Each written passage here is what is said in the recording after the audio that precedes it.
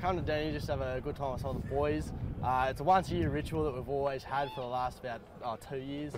Um, uh, it's just a good laugh, you know. Meet people that kind, all for one, one for all. Well, we come here with the boys, um, hopefully get a few Sheilas, good time. see a few boobs, um, just come to get away from work and get drunk with the boys, or the missus for some of us.